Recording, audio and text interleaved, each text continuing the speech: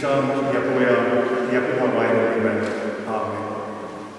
me alustame palvust esimese lauluga Lähme kuldkirikusse. kus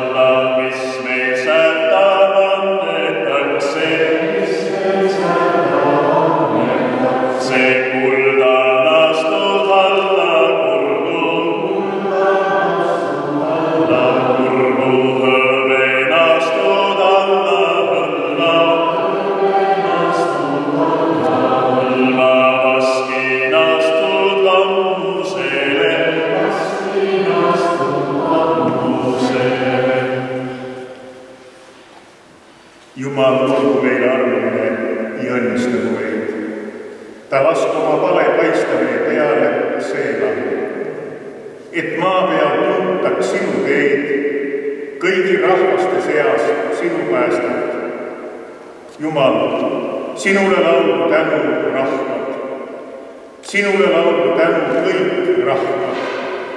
rõõmutsegu rahvad ja hõisaku rahvahõimud, sest sina mõistad rahvale kohut õiguses ja juhatad rahvahõime maa peal. meie palvetame. kõige vääriline ja armuline Jumal, õpeta meid teenima inimesi üle oma kogukonna ja rahva piiride. Juhata meid vastastikuses õppimises ja üksteise toetamises. õnnista pühakirja tõlkimist ja sõna kuulutamist meie hõimurahvastele ning kutsu nende hulgast ustavaid teenijaid, kes võiksid täita missionikäsku oma rahva seas. aita meid alal hoida kultuuri ja identiteeti, mille sa meile oled. Õnnista meie maad ja rahvast, hõimurahvaid ja kogu maailma rahvaid meie õnnistegija Jeesuse Kristuse nimel. aamen. ja siis me kuulame ja loeme evangeeliumi Markuse evangeeliumi üheksandast peatükist kolmekümne viiendast kuni kolmekümne kaheksanda salmini eh, mitmetes meie hõimurahvaste keeltes ja eesti keelega. ja Jeesus rändas läbi kõik linnad ja külad, õpetades nende sünagoogides ja jutustades evangeeliumi kuningriigist ja parandades kõik haigused ja kõik nõrkused. aga rahva hulka nähes hakkas ta neist hale, sest nad olid väsitatud ja vaevatud otsekui lambaid, kellel ei ole karjas. siis ta ütles oma jüngritele, lõikust on palju, töötegijaid aga vähe. paluge siis lõikuse issandat, et ta saadaks töötegijaid välja oma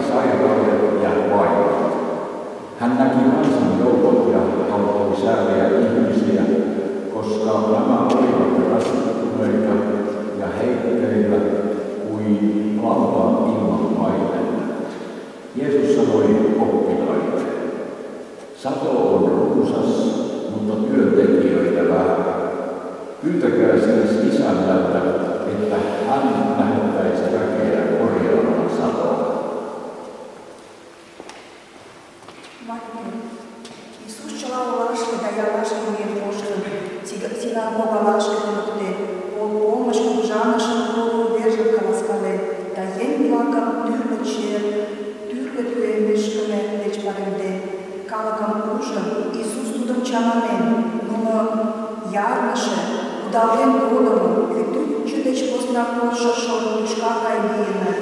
Tu nam, tu nepšaša paklako i den, tu li daš peš šuko, a pašadim šoga. Ja Jeesus käi omal Jaakobiga küladele opatas nad sünagoogis ja teevutas viie opatust küll ja parandas iga juurde tüppu ja iga juurde vaia Aga kui ta näis rohti, vuotas tema südamel kun ne olid laivad peetud ja jättud kui lambad ja nägu vaimne. siis ta lugedas end šokki päev. niitatud päev, aga töö tehti tehti siis paalatud niitimisi saanud, lasta kaima työteille niitimisi juuri.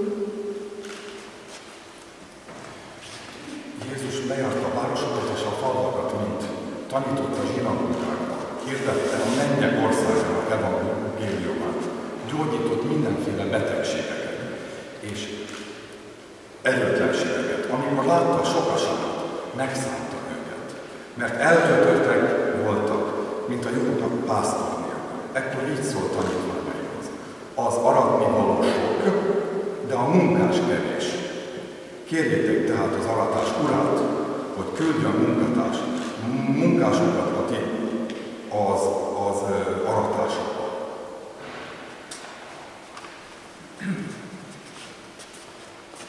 piibli lugemine seto keele. ja Jeesus käve kõik linnad nii alati läbi, opas need koguduse puhul ja kuulub armutundmust Jumala riigist ja parem kõiki tüü-, tõppe ja kõiki vigu rahvasekti.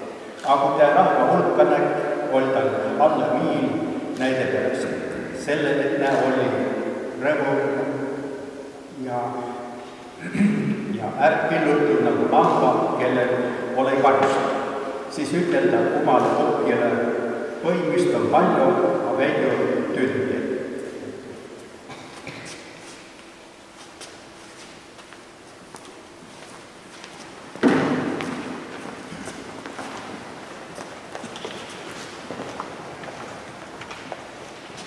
meie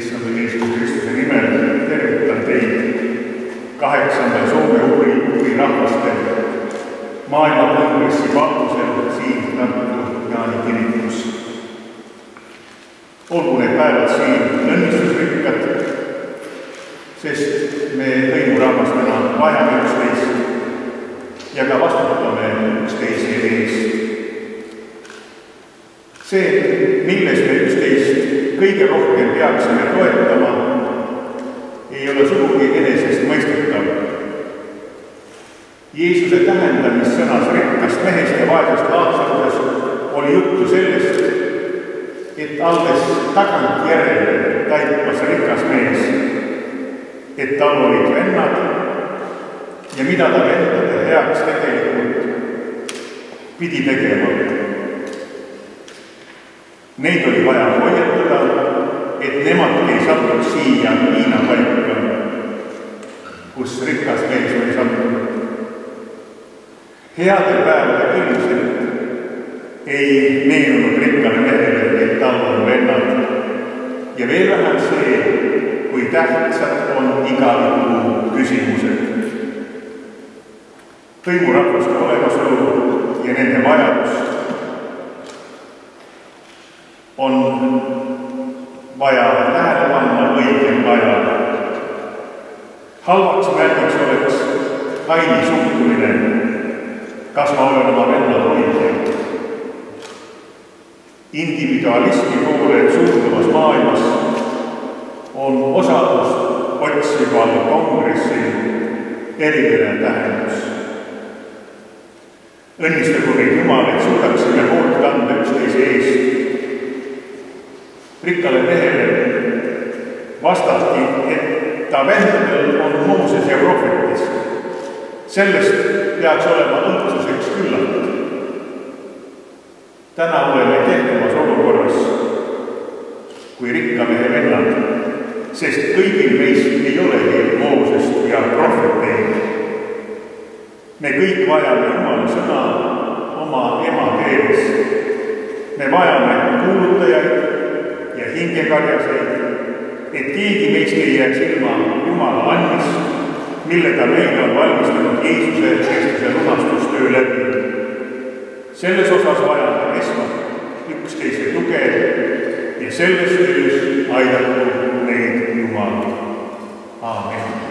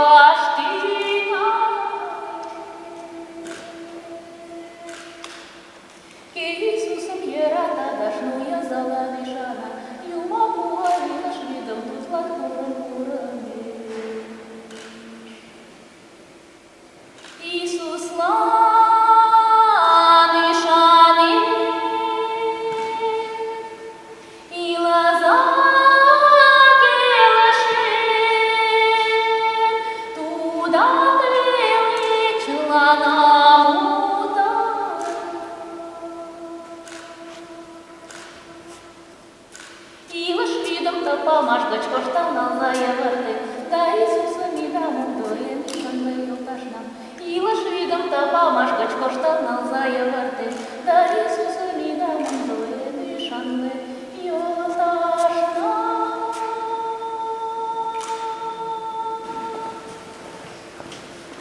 meie issand, näita meile oma armu ja kingi meile oma pääste, me palume sind, issand, võrra meie kuulame. riieta oma sulase õigusega ja kogu oma rahvast rõõmuga, me palume sind. issand, võta meid kuulda. issand, anna meile rahu selle elupäevadeks ja igavikuks, me palume sind. issand, võta meid kuulda.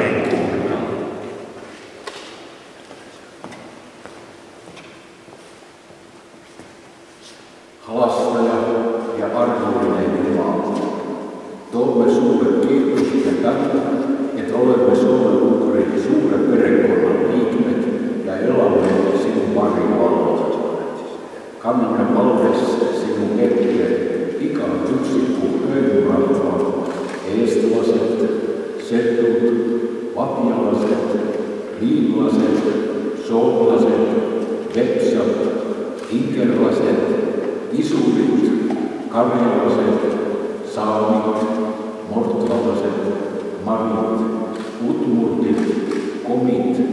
andid, manusid, hukarlased, hoiakud olid kõiki oma armus ja sinu juhtivus õnnistuste rajal me palume sind. issand, võta meid kuulda.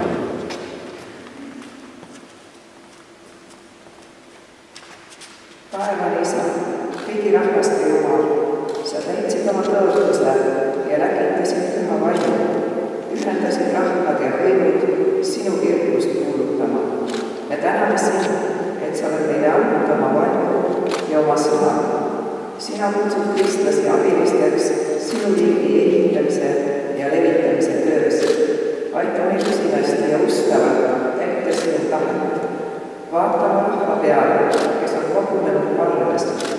lägita oma vaim meie südamesse ja tasanda sõnade ning keelte erisused, et me ühel häälel võiksime rõõmus ja tänus kiita sinu nime.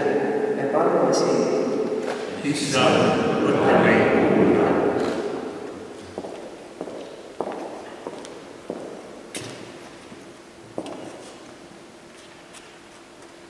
kõige väeline ja igavene Jumal, me palume sind, tugevda meid, et me toetuksime oma elus sinu sõnale ja päästvale armule, mille läbi oleme saanud sinu lasteks.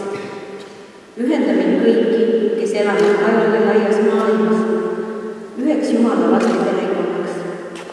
hoia meid suurt hõimurahvaste perekonda ning kinnita kõiki kristlasi igal ajal ja kõigis paigus oma tõe tundmises. me palume sind. Issand, võta meid kuulda.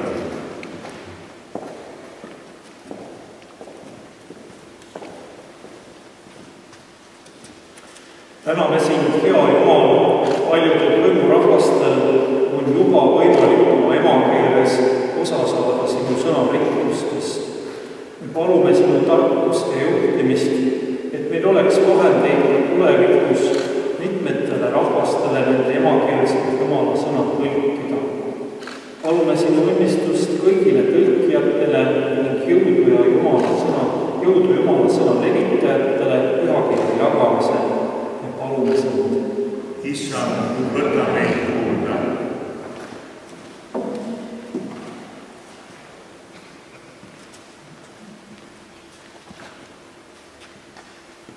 meie issand Jeesus Kristus, toome palves sinu ette kõik oma inimesed, kõik, kes on usul kaotanud kõik kannatajad ja abivajajad, haiged, kitsikuses ja avastuses olid. issand, aita meil näha ka suletud südameuste taha ja viia sinna sinu evangeeliumi valgust, usaldust ja lootust. aita meil jagada armastust, millega sina meid armastad. meie palume sind. issand, võta meid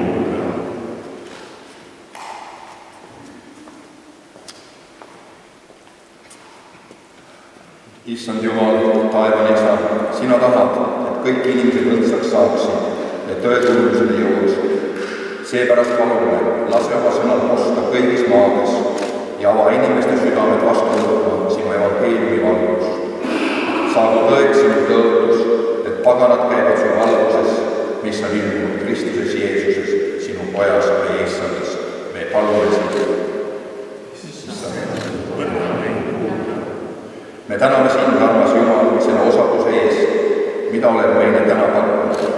täname sind ühtse peretunde ja võimaluse eest sind üheskoos ja üksmeelselt kiita, tänada ja paluda. me palume sind, võta kuulda meie palveid Soomurgi rahvaste eest, kõigi meie lähemate ja kaugemate kristlike õdede ja vendade eest, sinu sõna tõlkimise ja levitamise eest. palume end sinu kätte, et võiksime julgelt järgida ning oma eluga tunnistust anda sinu armastusest. Seda palume Jeesuse Kristuse, meie päästja ja õnnistelija läbi. issand, võta meid kuulda.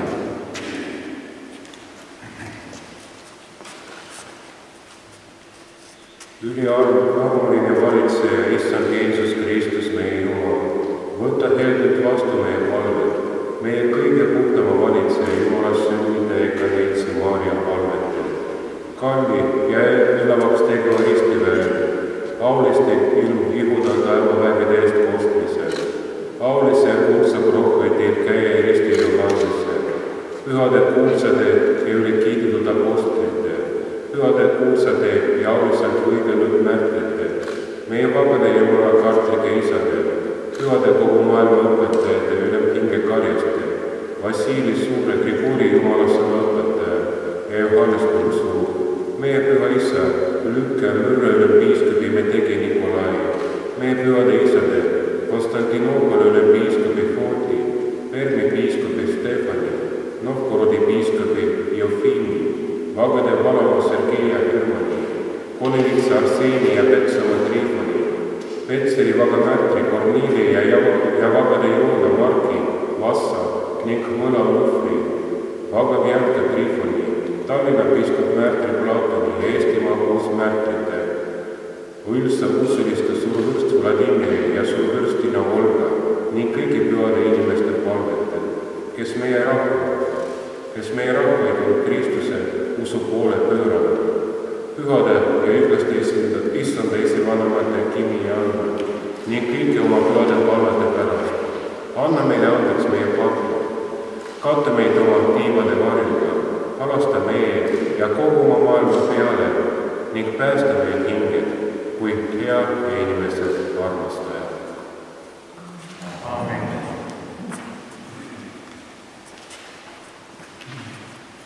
Ja me palvetame kõik üheskoos, igaüks oma keeles meie issanda õnnistegi õpetatud sõnad.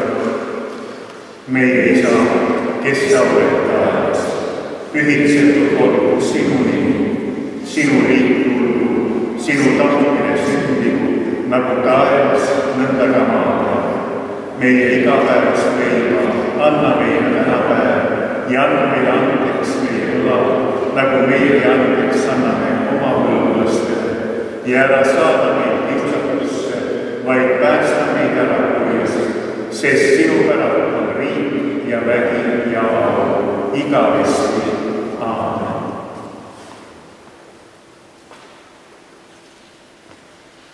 ja issand, õnnistagu sind ja hoidku sind. issand, lastu paistma pale sinu peale ja olgu armuline. issand, tõstku oma pale sinu üle ja andku sulle rahu. Jumala, isa, poja ja püha vaimu nimel. aamen. ja me lõpetame palvuse ühise lauluga. Lähme loojale loole.